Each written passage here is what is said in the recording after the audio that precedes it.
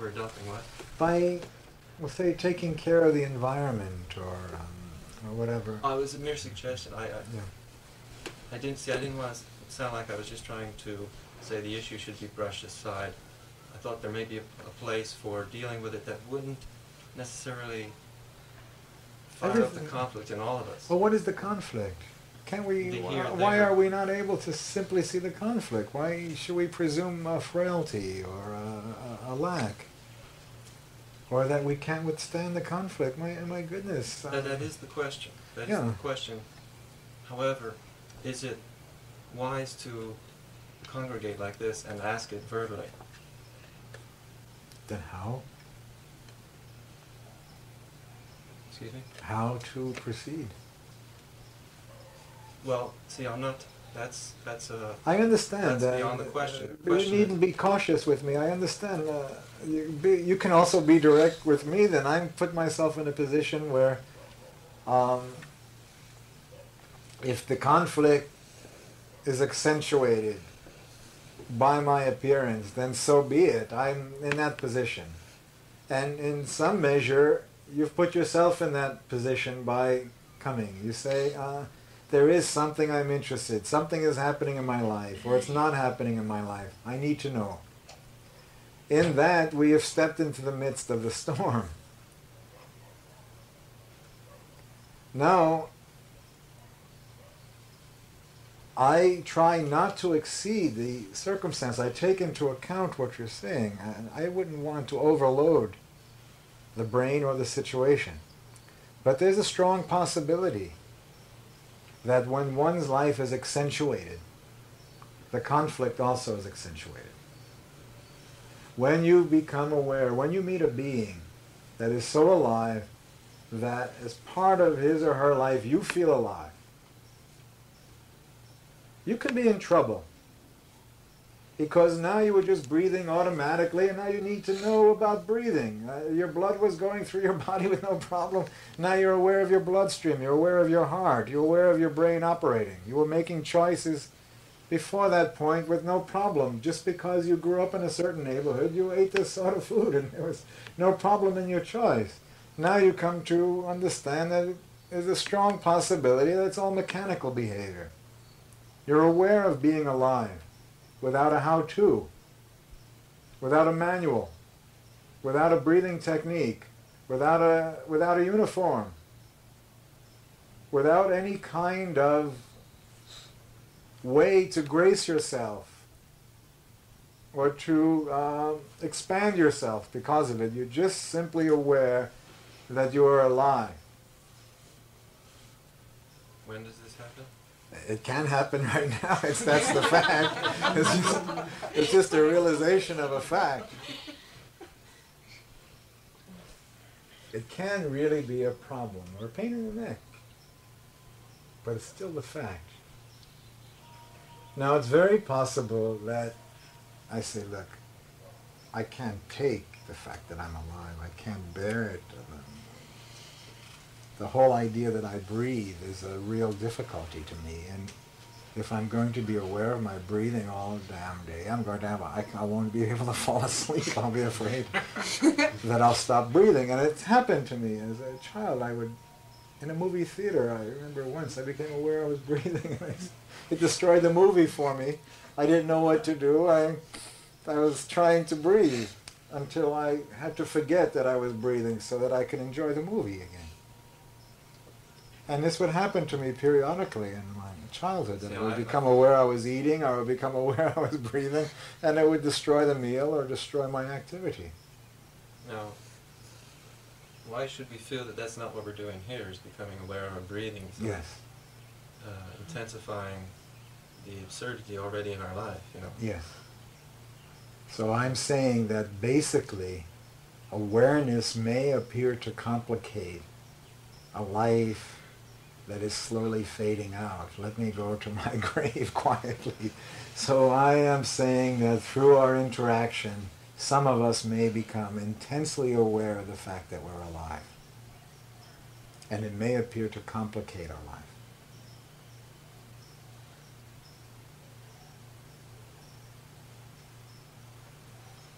Isn't there a way to be more simple about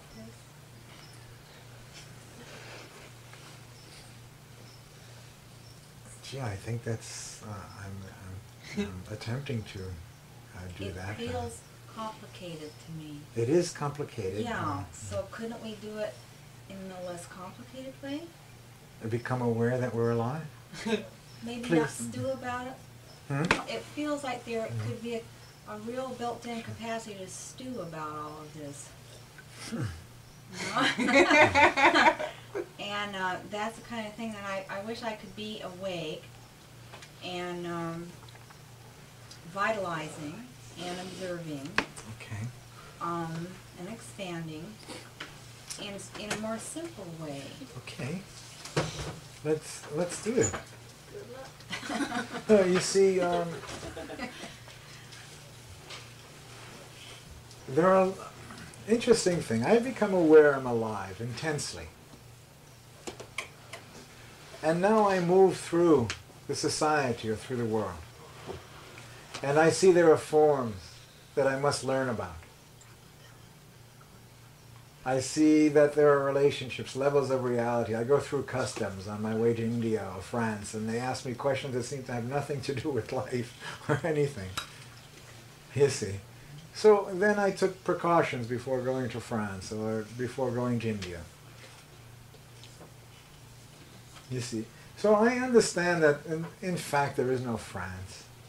In the essential reality there is no India there that you need a passport or things like that. But there are social realities that we've created.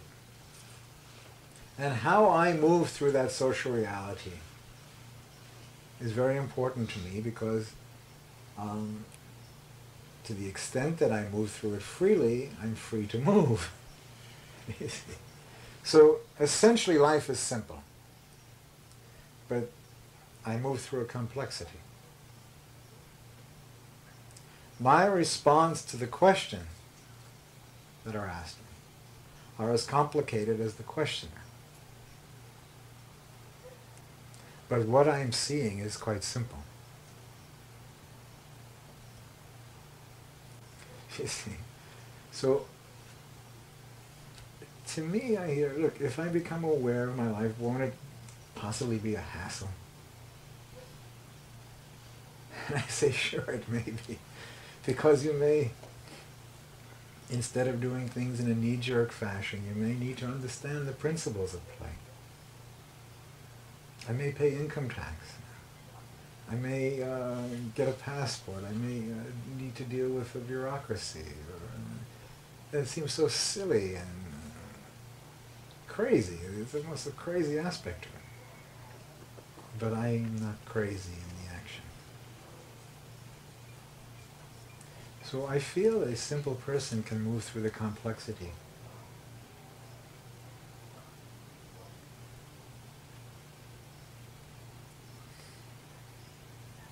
I had a, a comment to what he was talking about.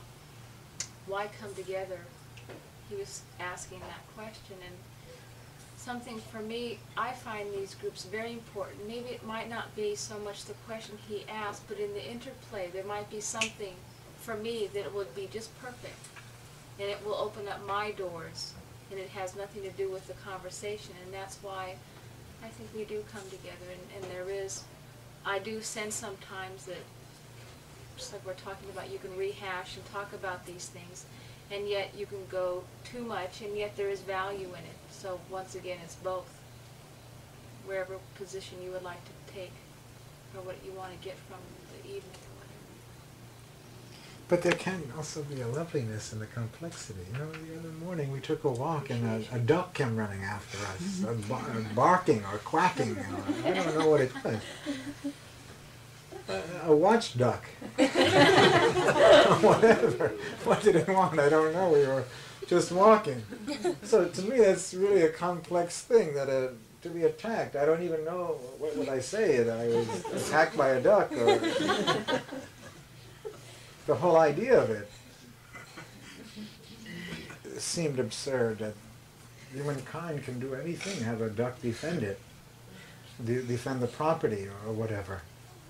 But it was a joke between us as we were walking, the absurdity of it, and also the kind of uh, humor in it- That folks have ducks guarding their property here as you're walking past is uh, quite a fascinating thing. Uh, that I would want a duck to defend me is is absurd, and the whole idea of teaching a duck seems to me to be very complex in nature. But at the same time, uh, it can, when we are on a, a mutual frequency uh, together, it seems to me that we can uh, laugh in these things and, and really see the humor in it as we move together. The traps that are laid for us, the obstacles. Uh, Are you saying we should duck certain issues? well, I wouldn't go that far for it.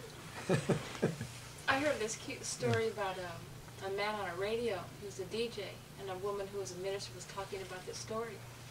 And this man said, you know, some nights it's like being gummed by ducks. you know, with people calling and having these absurd questions. And I thought about that duck. I mean, what damage could he do? Well, it Maybe seemed. Nick I guess it was a goose. Was it a goose? A gander. More These are very damage. dangerous. Another kind I don't know. I'm not. A but he looked like he can do damage. He had a mouth and a tongue. you know. but there was a. Uh,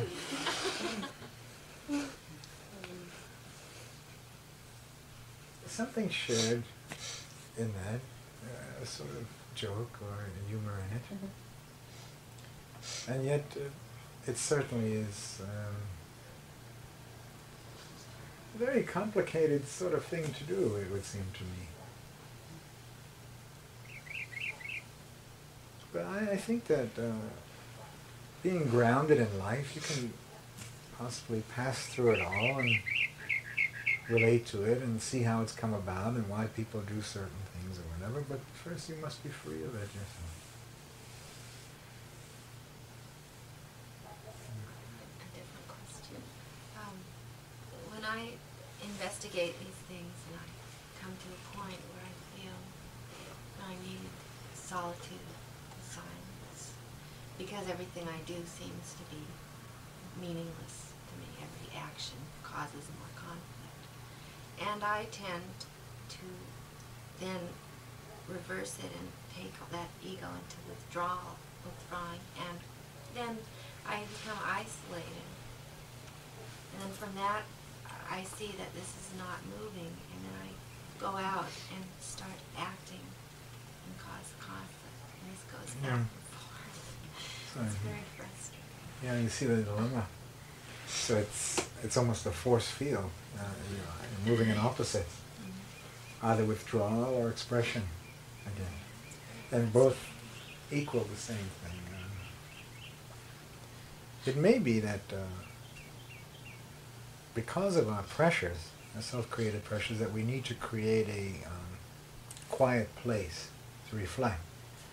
But it's not reflective it's an environment that we've created to calm down.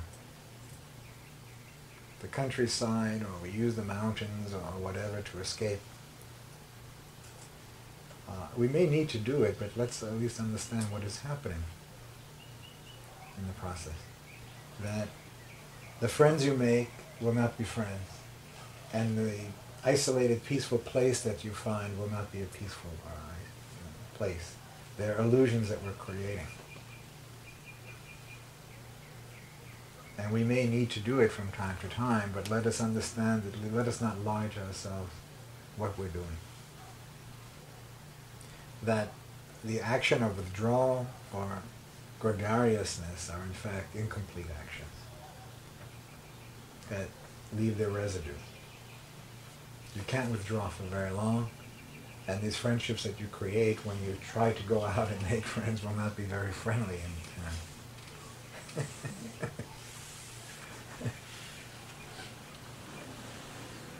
I understand it.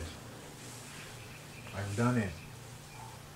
I don't do it because I see its limitations.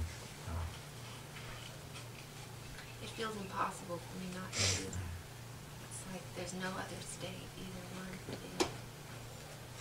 So then you'll need to do the impossible. Because that won't work. Can we understand that? Mm-hmm. What you will need to do in this life doesn't exist yet. what you know is what you do. And you will now learn that what you know is not good enough.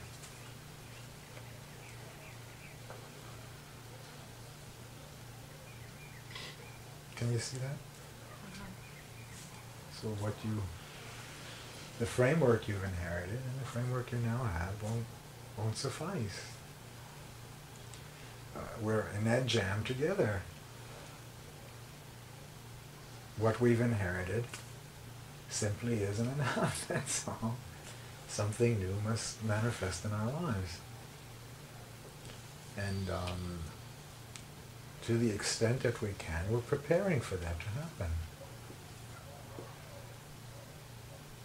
So that's our, uh mutual recognition when we meet. Uh, I know what you're doing. you still may need to act out that trauma. There may be momentum that you have to go through the same thing. But um, once you recognize it for what it is, you won't be able to do it very long. It may seem like a long time, but it's on the way out. The challenge would be really that you replace it with something else that um, that in turn will continue it. You see, that you become something. Uh,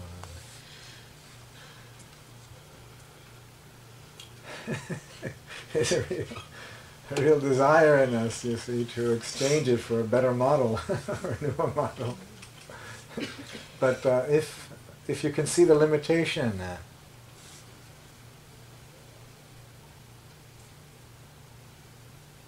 then it's a question of time.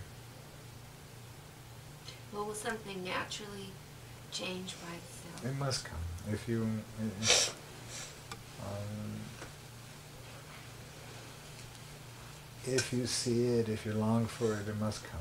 It must come. Uh, I, from my viewpoint, and um, life is not some trick or some evil thing or some dastardly force or something like that. Uh, it is a question of frequency. It is a question of being on a wavelength. Uh, as long as you're acting out, and as long as you're you have this escape system and approaches or whatever, then uh, you rely on that. When you see it's useless or whatever, then there is a quality of surrender and quiet. There is a waiting.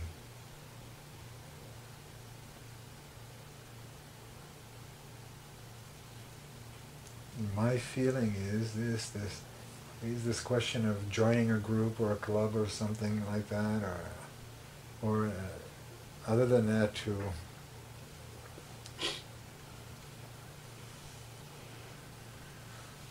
be self-destructive when there's no escape. Be careful of these two forms. In other be words, uh, yes, uh, that the self dominates the existence, that if it sees that its old ways are no longer viable, that it starts to destroy itself. So be careful of that. Uh, you must still, uh, while you're waiting, you must take care of your health. Uh, eat correct foods, and take some walks, and do some exercises. It's just a question of waiting.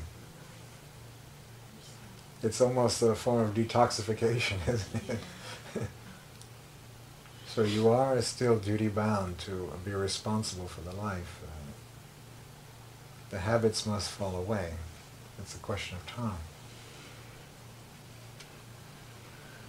Sometimes, um, though, I think of a trap for me. I, I, uh, when I come out and I see that I'm just isolated, and so I make a move outward, I will connect or so, with somebody, or something will happen, and it will feel like it's real or like it's positive. And then I think, oh, you know, something's happening. Then, Yes. then I feel you know, it, it, I hit my head against the wall. But it feels for a little bit like there's a movement, so that keeps me doing that. Because I get feedback or I get a Okay. response. And then um, it doesn't really work. It's like an illusion. No, it only goes as far as you go. Uh, you, you can't want more in these contacts than you are. So as long as you're a frightened person, as long as you're desirous of getting out of your situation, then you meet folks in the same state who abuse that or um, utilize that or use it. You're using in your own sense, in a weak sense, and you meet Uh-huh. some dominant characters, and opposite to you, or people in the same boat. We want more from the life than we are. We want more than our capacity to absorb. So it is a question of refinement in your part. It is a question of um, letting fall away what no longer applies. And the biggest difficulty for you will be to wait in a dynamic sort of waiting, because you have the feeling you're missing the boat. Right. But this question of wanting some strong person around that you can, that maybe uh, through association it'll rub off on you. Uh, no, you must bring some fruit to the meeting. You must bring some, um, some quality to the association. If you bring a frightened, uh, ambitious person, then what you get is uh, an armful of the same thing. So uh, it's very important. Uh, this waiting and this intensity is a kind of traditional purification. I, I see. I would not adopt any form, uh, but there is a kind of thing that happens in the yearning, in the desire, in the need for a, a developed life, a full life.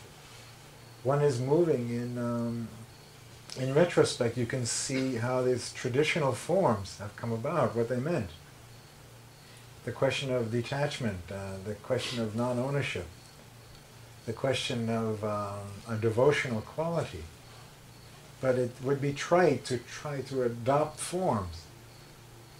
But in retrospect, after you've gone through it, you can see what has happened uh, with others, the experience that they had.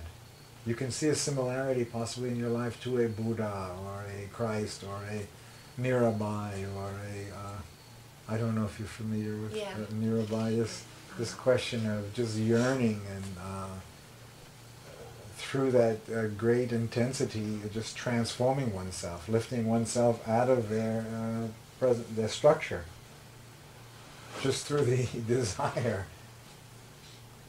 But that's that same sort of form is not available in, in, in the structured way. It would be a bit much for us to bear. To be around someone like Mirabai would be too much. it's like an old movie. But you can see the um, the acting. But still, the need is great.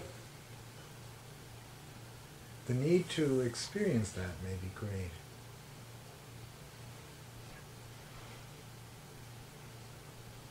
So something is actually happening in the waiting. It's no longer killing time. There's a dynamic quality to that waiting. You know that what you were won't do, and yet there's no new um, form for you to take. It is very important that uh, uh, that you then have a routine of eating and, um, and exercise or whatever, just keeping your body in some sort of shape. And that's all. Well, that's quite a bit. That's quite a bit.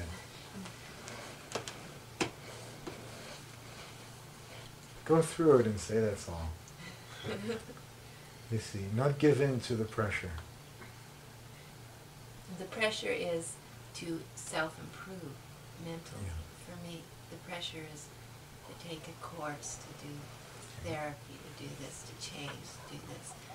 You know, that if I don't do those things, I'm going to continue to be afraid, scared, withdrawn person, only that it will get more so. But the I'm- choices you're making are coming out of fear. Right. So fear is inherent in your, uh, not the joy of life. It's not the love of life that is allowing you to select this course or that course. It's fear. So fear is um, colored your action. The course is then tinged with fear.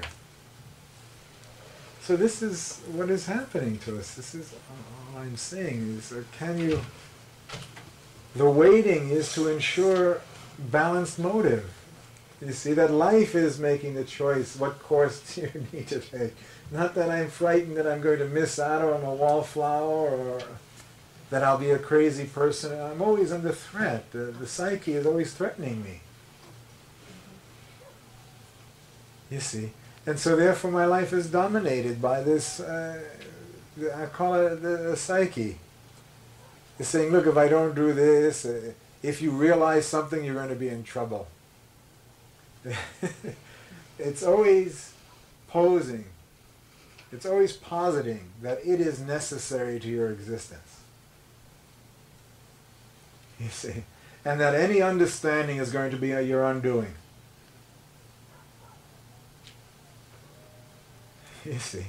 And so it's we're limiting ourselves because of it. It says if you hear something, boy, you're going to be in trouble. So this is our problem now. Sanity threatens us. Love threatens us. The joy of life, understanding, realization is a threat to our well-being, according to our thoughts of ourselves.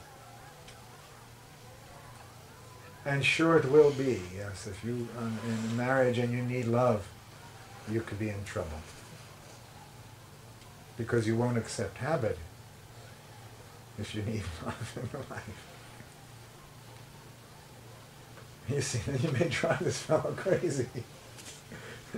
when everything is just conditioned and sort of reflexive, and now you introduce a, a depth to the life. Sure. So there may be a time period when life does seem to be quite complicated because you have just awakened to a, a need as as important as breathing. And possibly the folks you're living with have no concern about it. And for you, the life is on the line. Every action that anyone takes in your home it affects you. You see how you're connected to all of it, and you have very little say-so over any of it.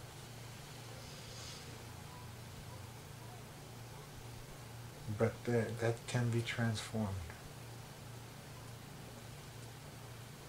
I am positing that the intense individual in introduces intensity in the home. Quietly, because if it's uh, expressed too loudly, you'll get a bump on the head for it. You'll get reaction. You'll drive the person further into reaction but I feel the uh, the awakened need for love can uh, create a loveliness uh, around it.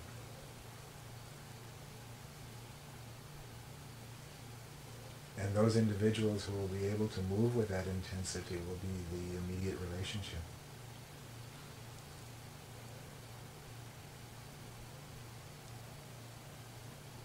You see, a marriage is not to be saved. Uh, family relationships are not to be rescued. But when one, you, you have responsibility to them. There's no doubt about that. But you're not responsible to sacrifice your life to anything. Your life is a precious thing. So the marriage actually is two lives that are moving together um, in intensity, not that you've taken a vow 20 years ago. You have a responsibility possibly to make sure as long as you have food, that person has food, as long as you have shelter, there's a social responsibility, but an essential responsibility is to be true to life. And that may be hard at times. You may feel the, uh, the, the outward pressure may force even a greater degree of excellence from you. The, the excellence of discernment, the capacity to discern what is real.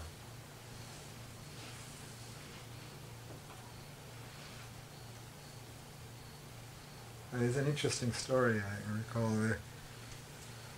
A sadhu, a fellow had practiced detachment or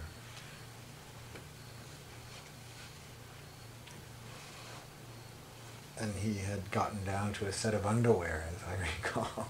he only had what they call a lingoti, a covering in the genitals. And he couldn't go any further with his guru. Uh, his guru advised visiting this king,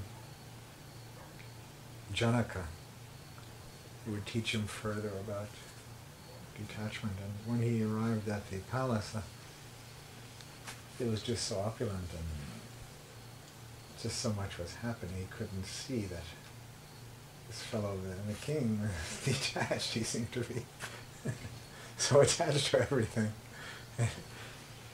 so he presented himself, and the king gave him a room or whatever. And that evening, uh, there was a fire, and the king and everyone uh, left. And the fellow tried to run back to his room to rescue his underwear. so the king held him back. You see, and he demonstrated to him his attachment to his detachment. the idea of his underwear being so great that he would run to risk his life. And the king had so much and he walked away from it. So he conveyed a sense of discernment being the real detachment, the capacity to see what is real and what is false. Not the measurement of what you have, but your relationship to it. So these clinging to concepts.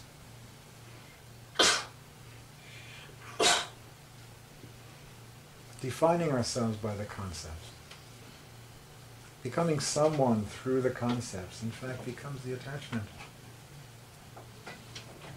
That creates great sickness, generates great sickness for us. Moving from fear, you'll always choose the false. And then the false will become the problem. And how will we see that the fear is the question?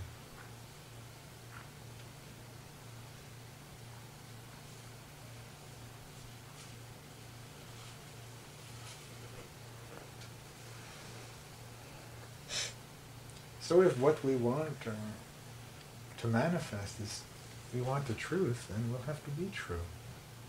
We'll have to be able to see truth. We'll have to understand our motives.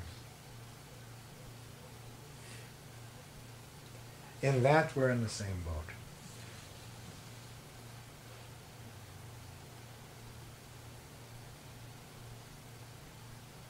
The need to discern, to see what is essentially true is there for all of us. It's, it's necessary for all of us. And there's no guarantee that we won't goof or make a mistake or get in trouble or whatever.